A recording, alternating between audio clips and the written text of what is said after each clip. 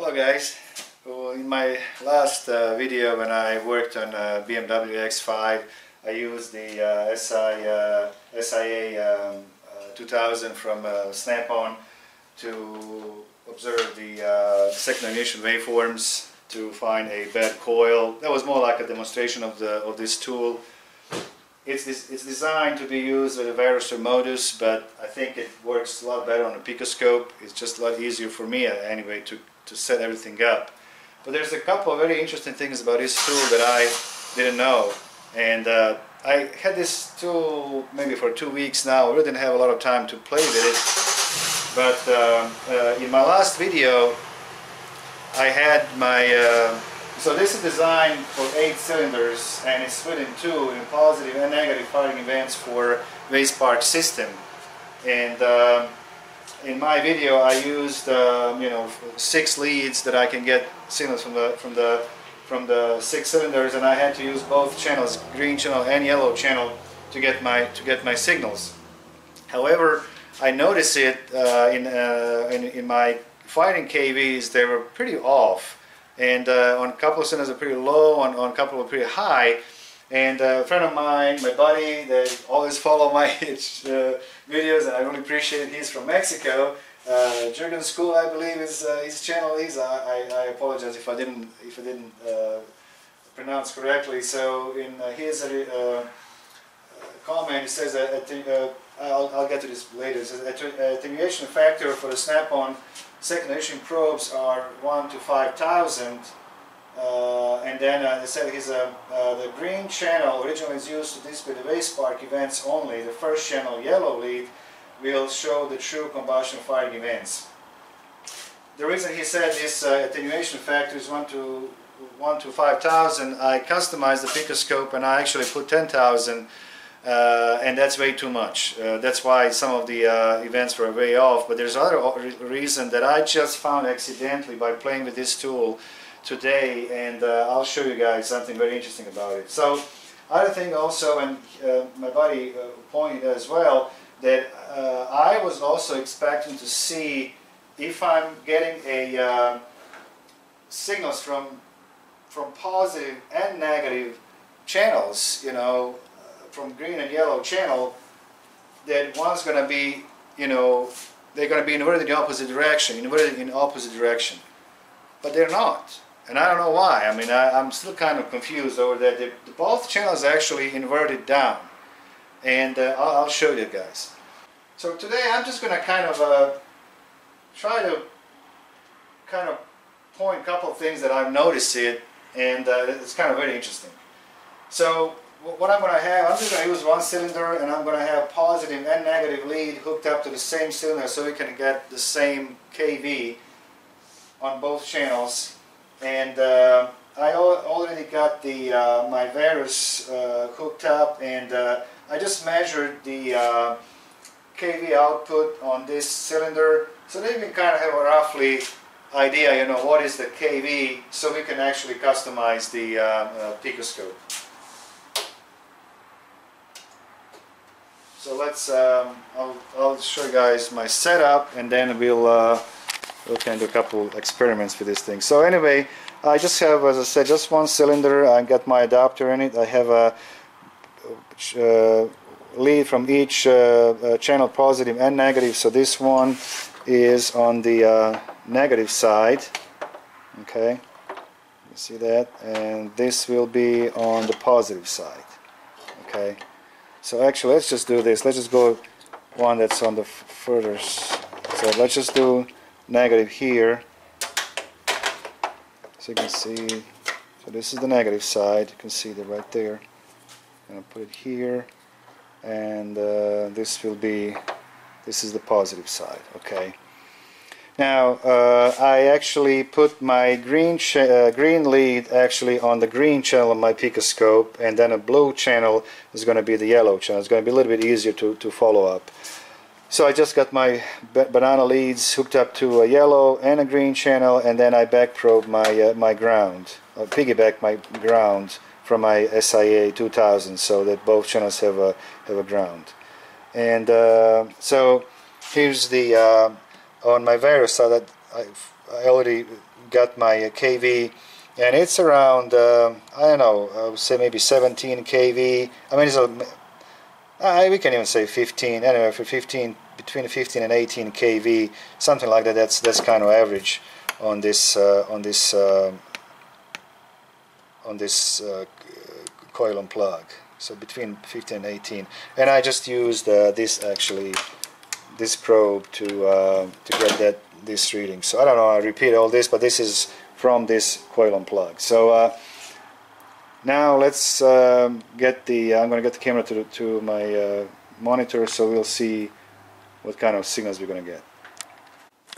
Okay, so the green channel is the green channel and the blue channel is yellow channel. Okay, the channel 1 is, is yellow and channel 3 is green. So, alright, so let's, uh, let's get, I'm going to start it up and uh, let's see the signal.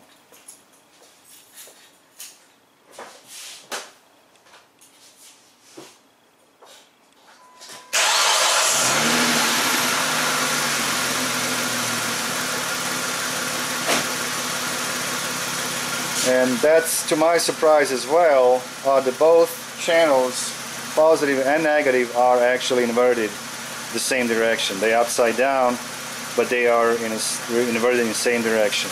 So you can guys you can see that on the on the scope. And uh, let's just see one more time. I'll show you. Here's my uh, my lead. On the negative side goes down to the coil and there is a lead from the positive side going down to my to my coil. So uh, the voltage output from both channels are are in the, I mean the signals are in the same direction. Okay. So right now I'm just going to go to I'm going to invert the channels upside down, you know, uh, right side up, I guess go to here and then uh, move here as well. So now we can actually see that we are getting the same voltage output from positive and negative side of this tool which I thought it's supposed to be different but um, it's, it's really not. Uh, so let's go down, so let's check the voltage here. I'm going to put it kind of right there. It's like a 3.4 volts. And uh, is a 3.2. And it's it's pretty close. That's they are they are identical. So uh, so pretty much the same the same voltage output on. Uh, you can actually you can zoom zoom in a little bit to get better uh, idea let's just go and maybe these three. And as I mean it's very very slight different like a you know maybe I don't know 70 millivolts or something but that's just you know uh, that's that's pretty much the same like you know that's fine. So now we, we know that I we can use either side for you know direct injection system and it's going to give us the same the same output voltage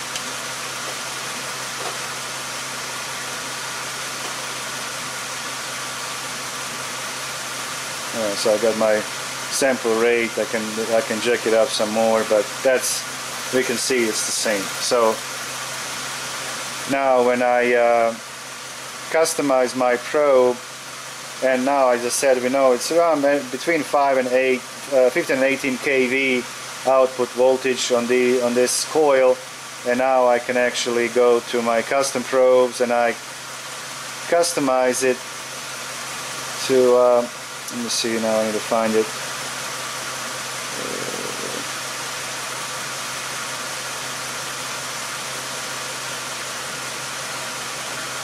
It's right, this, this one I believe. Yep. Uh, that's, that's, let's see now.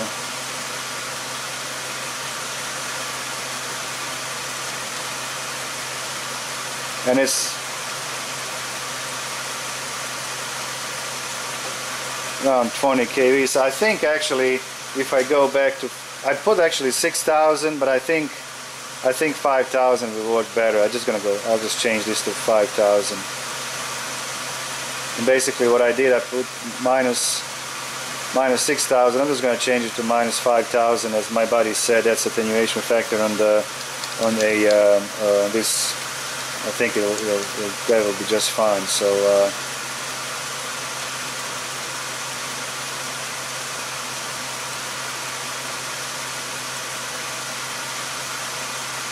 So that should give us roughly the same the same kV as I as we had on a on a Verus.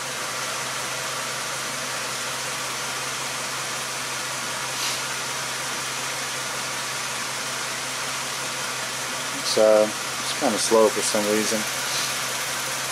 Okay, so that's that that that's fine. We got 16 kV. That that's pretty close. So uh, so minus 5000 works just fine.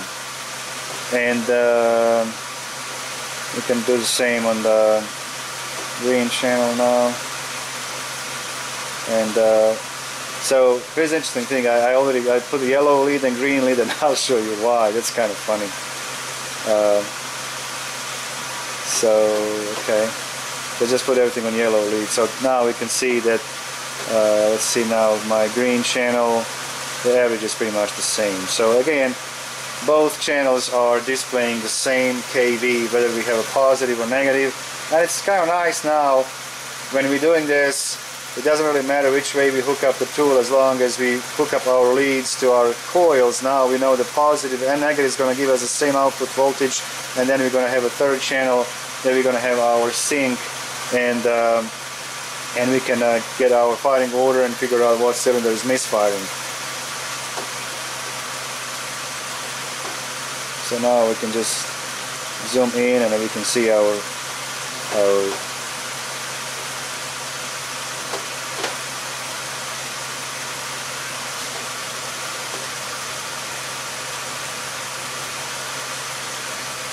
that's that's pretty nice.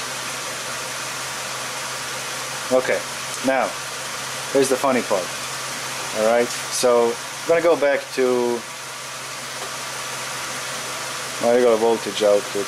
Just just to a, a regular uh, probe on both.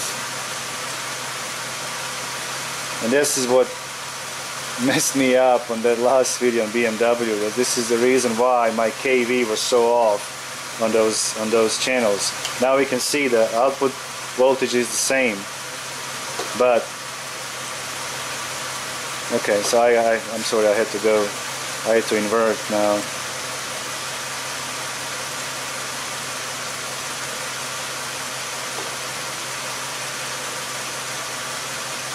Okay, so here, here comes funny part.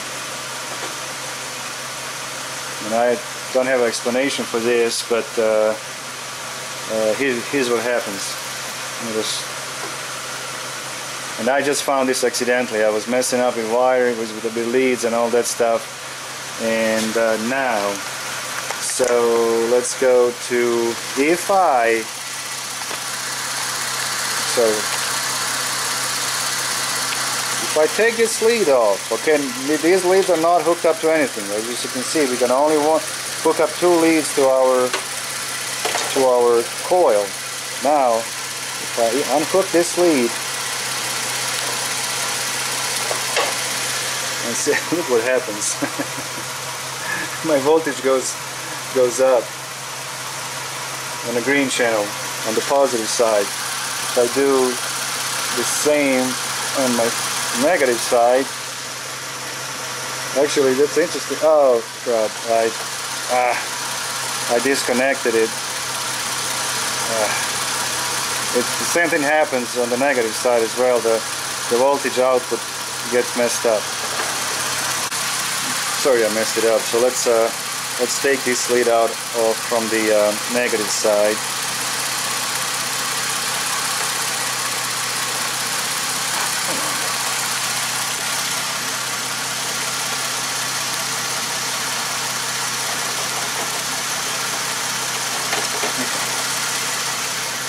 Now we can see that voltage goes up as well. So now uh, why is that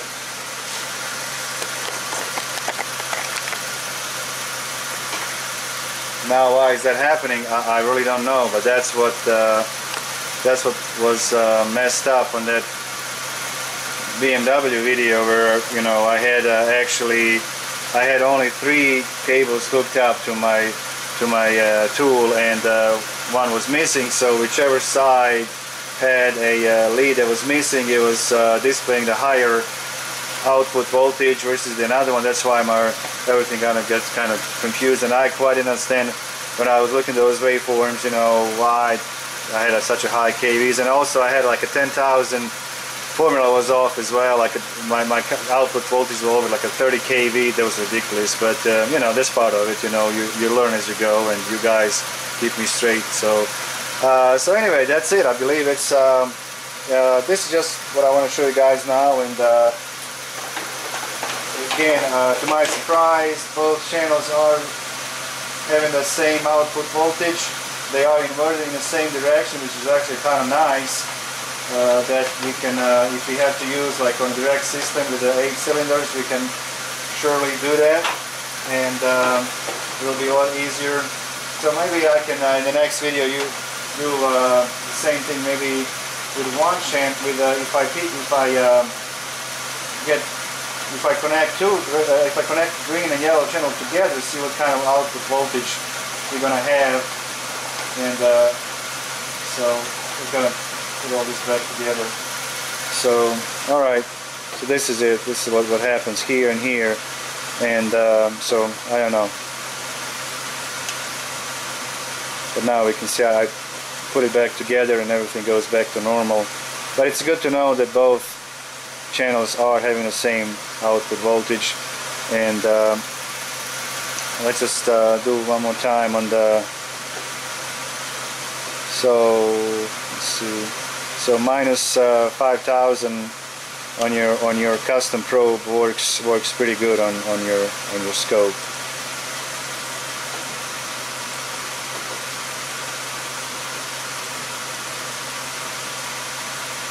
And I was uh, as I was playing with it, I was gonna customize my you know leads differently to make different formulas because I thought you know it has a different output voltage and I just happened that I was messing around with it and uh, I disconnect the cable and all of a sudden you know my, my voltage has changed and that's when I got a 30 here and a 40 here so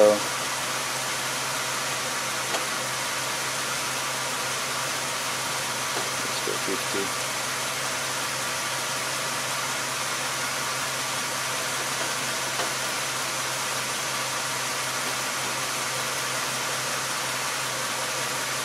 Alright, so average is like 16.8 here on one positive side and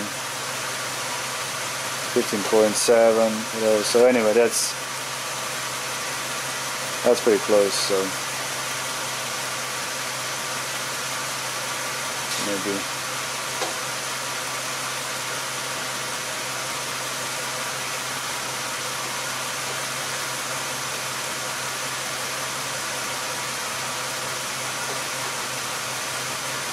Mean, just average. It's it's pretty close. I mean, you guys see the point. I mean, it's it's just uh, uh, yeah, it's just that's that's good. It's the same. All right, guys. Well, this is it for for now. I will make another video. and We're gonna kind of do some more uh, the complete setup, maybe on a V8 engine, get all the cylinders together, and then get the get the sync and get everything properly set up, so we can actually do some more testing. Maybe you know rev the engine up, maybe unplug the you know, I don't know, maybe unplug the uh, injector or something like that to see how that affect our signal waveform. So anyway, thank you guys for watching and uh, see you next time. Thank you. Bye-bye.